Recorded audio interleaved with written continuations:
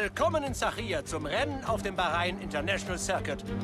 Bahrain bietet ein außergewöhnliches 5,4 Kilometer langes Rennvergnügen mit vielen Gelegenheiten zum Überholen. Diese Strecke frisst bekanntlich viel Gummi, besonders auf den Hinterreifen. Mal sehen, welche Reifenstrategie die jungen Fahrer nutzen werden. Diese könnte letztlich sogar den Ausgang des Rennens bestimmen. Wir sind so gut wie bereit. Und so sieht die Startausstellung für das heutige Rennen aus. Amaury Kodel ist auf der Pole Position. Und Jehan Darovela steht daneben. Die restliche Startaufstellung sieht wie folgt aus. Novalak, Hauger, Enzo Fittipaldi, Vesti, Martins, Benavides, Verschor, Ayumu Iwasa, Meloni, Leclerc, Ralf Boschung, Olli Bermann, Kobe, Crawford, Nissany, Roman Stang, Hadja, Maini, Duhem und Theo Poucher vervollständigt die Startaufstellung. Die Ampeln leuchten und der Countdown beginnt gleich. Also schalten wir zur Strecke. Und damit auch von mir ein herzliches Willkommen hier in unserer Formel 2 2023 Karriere mit Theo Poucher und es wird eine Last to First Challenge Season werden. Äh, ich probiere mit Theo den Titel zu holen und ihn ja vermutlich nicht nächstes Jahr in die Formel 1 zu bringen, aber gucken wir mal. Ähm, wir werden vom letzten Platz aus ins Rennen gehen. Es sind nur elf Runden, aber dennoch. Was? Das ist die bevorzugte Strategie von Rot auf Weiß oder Doppelrot und Weiß. Das ist interessant. Wir werden natürlich mal mit der ersten Strategie gehen. Ich fahre mit Controller Schwierigkeit jetzt mal nur auf 80, weil ich noch nicht genau weiß, wie stark die. Das sind doch nur acht Runden. Wir gehen hier rein mit Theo Pocher ins erste Formel 2 Rennen. Die Namen kenne ich noch nicht alle. Es wird eine Last to First Challenge werden und let's go! Lights out. Mir kommt besser weg als der Junge daneben uns und auch als Maini. Aber Bierman, what the fuck? Wir kommen jetzt sehr toll weg. Ähm, Schwierigkeit fahre ich von Anfang mal auf 80, weil ich nicht genau weiß, wie stark die Konkurrenz hier sein wird. Und äh, wir werden TSC einfahren, dafür aber selbst starten, selbst bremsen und natürlich, je nachdem wie gut die ersten zwei, drei Rennen verlaufen, ähm, werde ich dann natürlich ähm, alles anpassen. Und wir sind jetzt hier bereits auf den 14. Platz. Ja, da komme ich ein bisschen auf den Körper drauf. Die Autos sind natürlich komplett anders vom Handling her. Weswegen ich natürlich ein bisschen mal gucken muss, mich hier zurechtfinden muss. Ich bin vorhin nur ein, zwei Trainingsrunden gefahren und ein ähm, Qualifying, das ich dann in der letzten Runde abgebrochen habe. Also generell in der, im Run abgebrochen habe, um natürlich vom letzten Platz starten zu dürfen. Hier haben wir Arthur Leclerc vor uns, den Bruder von Charles, der ist natürlich sehr bekannt. Und es gibt natürlich auch viele bekannte Namen wie Richard Verschor, der fährt auch schon einige Jahre. Theo Boucher natürlich. Äh, wir haben Roy Nisani, ewig, Daruvala. Iwasa natürlich ein Megatalent, aber natürlich gibt es dann auch Namen wie ein Beerman, wie ein ähm, Novalak, die mir halt nicht viel sagen. Jetzt mal hier auf den 13. Platz vorgekommen. Ich muss sagen, 9 Plätze beim Start ist eh eigentlich gut. Ähm, hate mich nicht oder so. Ich bin, ich bin zwar früher viel Formel 2 gefahren, aber das war halt noch vor dem, ja, einerseits neuen Handling 2020 und dann auch noch 2021. Und wir wissen ja, das Handling hat sich dann nochmal gravierend geändert. Jetzt haben wir ein bisschen abreißen lassen, bin ein bisschen in die Strecke gekommen, habe dadurch auch ordentlich einen Schwung verloren, aber jetzt hier aus der letzten Gruppe komme ich ein bisschen besser raus als Charles Leclerc. Ah, Charles, ja, das muss ich mir auf jeden Fall umgewöhnen, denn ich fahre ja gegen äh, Charles Leclerc in der My Team Karriere und jetzt hier gegen Arthur Leclerc in der Formel 2 Karriere. Abonniert gerne den Channel auch kostenlos, lasst gerne ein Däumchen oben da, falls euch meine Videos hier gefallen. Aber das ist dann wirklich schon mal eine Hausnummer.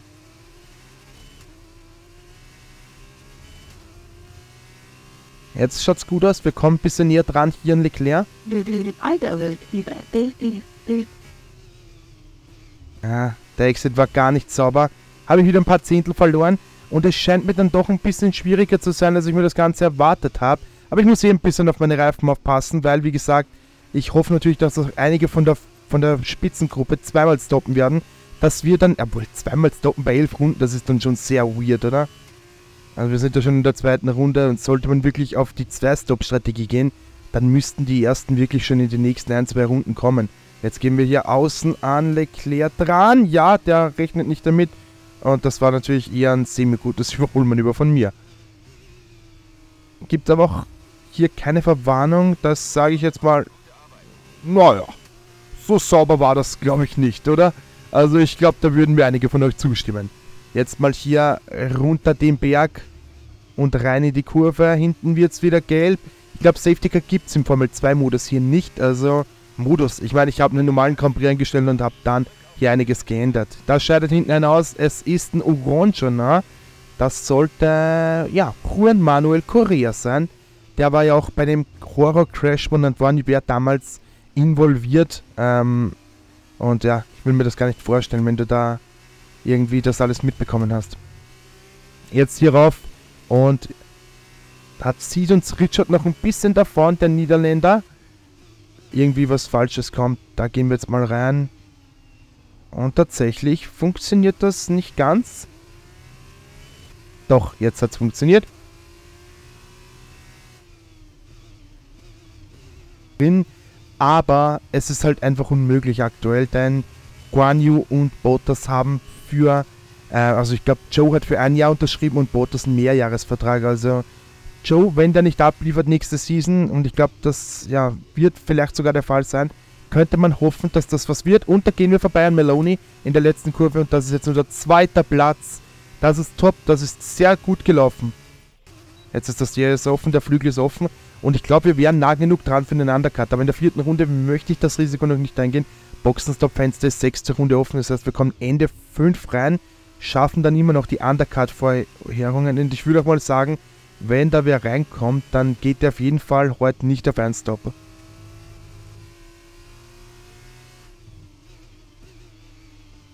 Da gehen wir ganz spät an die Bremse. Kommt ein bisschen besser raus als Iwasa und übernimmt hier den neunten Platz. Aber der hält hier rein, da kann ich nicht auf die saubere Linie kommen. Und das ist Platz Nummer 9. Keiner geht also auf einen Stop, denke ich mal. Wäre auch eine interessante Strategie gewesen. Wir holen jetzt die schnellste Rennrunde, 1,45,8 hier. Und wir haben ja eigentlich eh noch okay Reifen. Enzo Fittipaldi, das ist natürlich ein sehr bekannter Name. Emerson ist ähm, Weltmeister, Formel 1 Weltmeister. Und ja, natürlich dürfen die dann auch nicht fehlen, wenn die Rennfahrer sind. Enzo und ich glaube, da gibt es ja auch noch Pietro. Und da gehen wir auch innen an Enzo vorbei. Das läuft ja jetzt wie im Schnirkel, Leute. Fünfte Runde, achter Platz. Das könnte noch so weitergehen, wenn ihr wollt. Also, das macht mir ordentlich Spaß hier. Ja, da kommen wir weit neben die Strecke. Das ist gar nicht gut. Aber die Reifen, die machen mir ein bisschen Sorgen. Geh ab in die Box. Seit wann? 60. Das ist neu, oder? 60 in Bahrain? Ich, war da nicht immer 80? Ist egal, ist egal. Wir werden vermutlich weit zurückfallen, ja am Ende des Felds sogar. Oh nein, die Boxenstops dauern ja ewig hier. War das ein guter Stop? War das ein schlechter Stop? 4,2 Sekunden. Okay, es lief sogar besser, als wir dachten. Das ist dann sogar ein guter Stop. Das ist dann natürlich sehr cool. Jetzt geht's hier mal raus und jetzt heißt es natürlich jetzt ein, zwei Runden, je nachdem, wenn die Kriege reinkommt, pushen. Und sechs Runden sollten die Reifen eigentlich locker halten. Wenn die Roten schon fünf halten, dann sollten doch die Weißen eigentlich das Doppelte halten, oder? Da kommen wir wieder weit neben die Strecke. Ja, die Boxen Stop Down etwas länger hier. Da ist die Hälfte des Feldes in der Box und ich befürchte, dass wir hier erstens mal 4% in einer Runde für die weißen Reifen ist grausam. Das ist tatsächlich sehr grausam. Aber noch grausamer wird vermutlich das Ergebnis werden, wo wir rauskommen werden. Die gehen jetzt alle schon aus der Box raus. Wir werden die ersten nicht bekommen. Aber wo werden wir uns einsortieren? Richard Versören ist hinter uns, sie war es auch. Aber Westi ist vor uns. Der ist auch ein cooler Dude. Den folge ich auf TikTok. Da könnt ihr mir auch gerne folgen, wenn ihr wollt. Äh, ja. Festi. Der ist ziemlich cool unterwegs. Frederik. Aber wir haben natürlich jetzt die wärmeren Reifen. Und können hier tatsächlich immerhin mal den uns überholen und der war, glaube ich, nicht hinter uns. Also der könnte dann tatsächlich vor uns gewesen sein. Und auch Daruela, der war vor uns. Korea war sogar erster, oder? Ah, Cordel war doch dann... Das ist dann natürlich eher semi-optimal. Ja, ja, ja, ja, Mann, Alter. Ja! Der bremst hier mitten in der Dings ab. Also ich hab, wusste nicht, dass die KI hier... Okay, das war jetzt... Das war jetzt sehr dumm von mir. Victor kommt in die Box. Victor Martins ist doch... Nein, Martins ist doch Formel... Ah, ist doch MotoGP, Victor... Nehme das DSC mit, habe auch den besseren Exit. Bin auf den falschen Gang in die Kurve gegangen. Ob das dann dennoch reichen wird? Er bekommt nicht auf DS. Und das sogar früher, aber das könnte dann tatsächlich reichen. Ah, nein, da kommt noch vor uns noch mehr raus.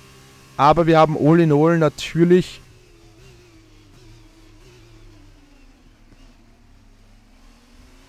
den vierten Platz. Also der Undercut hat auf jeden Fall funktioniert. Und das ging sogar mehr als erwartet. Ich muss im DS-Fenster zu äh, Cordel bleiben. Novalak, ich hoffe natürlich, dass der auch ein bisschen ins Fighten kommt da vor uns dann wäre heute das Podium drin. Das Podium im ersten Formel 3 Rennen, ah, Formel 2 2023 Rennen, das wäre natürlich top. Und tatsächlich, Cordel und Novalak kommen ins zweiten. Das freut natürlich den, der da ganz vorne wegzieht. Das ist ein Orangener. Keine Ahnung, wer das ist. Es ist Hogger. Kann das stimmen? Ja. Dennis Hogger. Uns kann das eh egal sein. Ich möchte jetzt mal die zwei Jungs da vor uns. Boah, zweiter Platz wäre noch cooler. Aber jetzt mal natürlich nicht zu, zu stark hier uns hypen. Der Exit von Cordel war toll, der war top. Und es sind natürlich auch nur noch drei Runden zu gehen.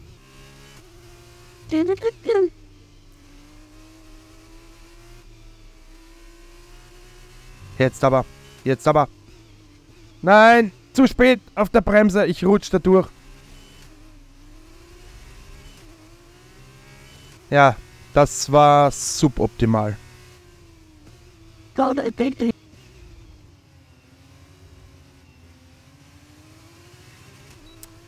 Nicht nur, dass wir jetzt die Chance auf Novalak vermutlich verspielt haben, sondern auch, dass Cordel jetzt vor uns ah, top wegkommt.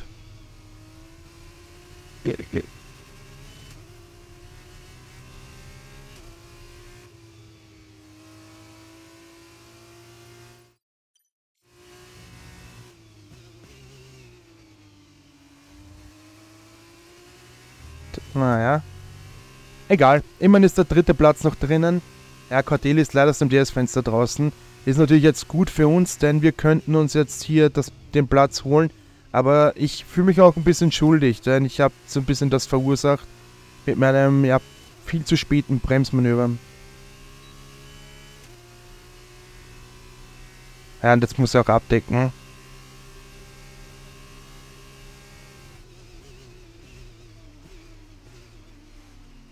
Da bleibt er sogar noch eisern drauf. Aber wir haben jetzt innen hier die besseren Karten. Das ist der dritte Platz. Ob wir den behalten, ist eine andere Frage. Die Reifen fühlen sich nicht mehr top an und wir haben noch zwei Runden ab zu verteidigen. Hilfreich wäre auf jeden Fall DRS-Hilfe von Novalak. Das wäre der Jackpot.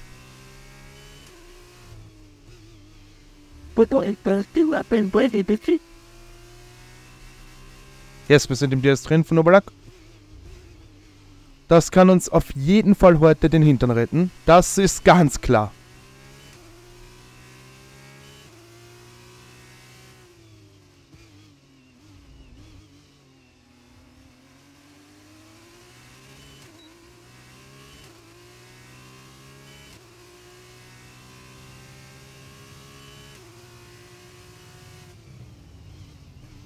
Nein, er ist wieder draußen. Aber hier, glaube ich, mache ich Zeit gut. Da bremst die KI nämlich und ich fahre einfach eine Linie und gehe vom Gas runter. Gewinne jetzt auch nicht so viel Zeit. Ich glaube, für die schnellste Rennrunde gibt es in der Formel 2 sogar zwei Punkte. Also das ist dann noch besser. Und ja, Novalak hat wirklich tolle Exits noch. Aber ich glaube, das liegt jetzt auch am Reifenunterschied. Andere Linie wird aber vermutlich auch hier noch nicht reichen. Und ich wäre auch dumm, denn ich könnte mir so, so sagen, dass die S noch sneaken auf dieser Geraden da. Ich glaube aber, da wird es nicht funktionieren, ein Überholmanöver zu wagen.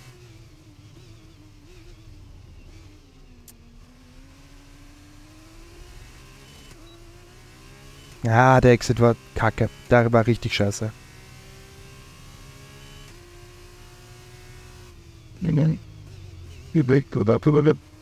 Ja, Novalak wird das Ganze leider. Oh, da war ein Rutscher drin, da war ein Rutscher drin. Warte, jetzt geht's in die letzte paar Kurven hier, letzter Sektor.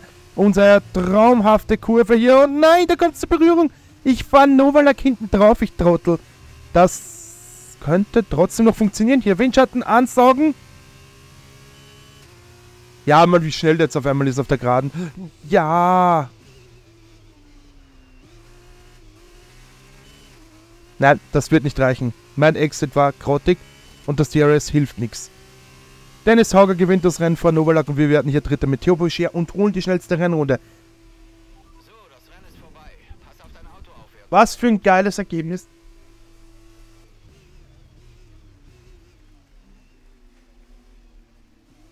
Wir werden auch Fahrer des Tages.